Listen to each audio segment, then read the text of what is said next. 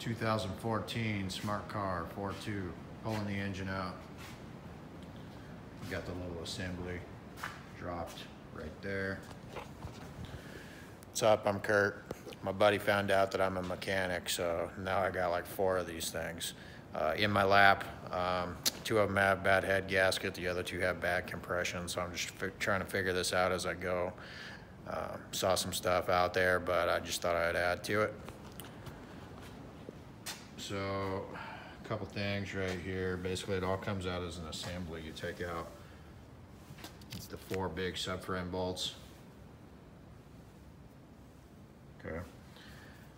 Um, this connector right here is fuel injection or ECU connector, and it just goes up through the body right there.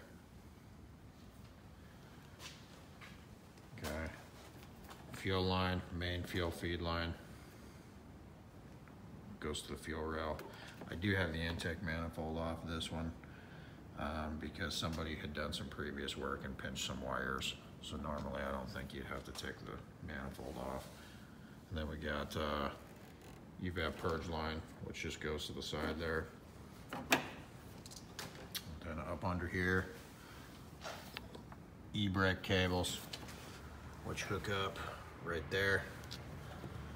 We got AC lines right there.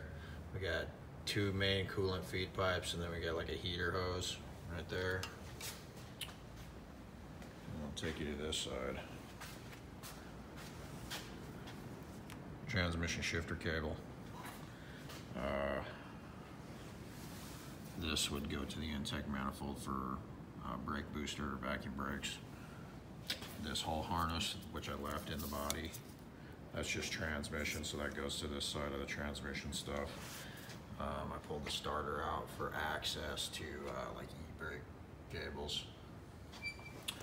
Um, this one right here, this is basically your main power cable that goes from the battery through the body of the car, um, and then it goes to the starter and then up to the alternator right there.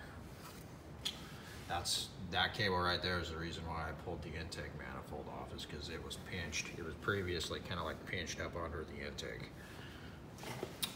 Um, over here we got uh, main brake hoses and like ABS sensors.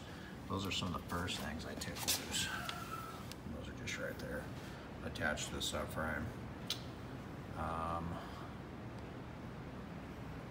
I think that's about it.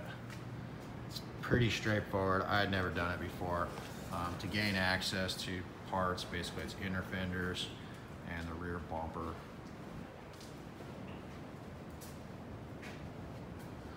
The tail lights and like the fuel cap, those will kind of come out with the rear bumper assembly.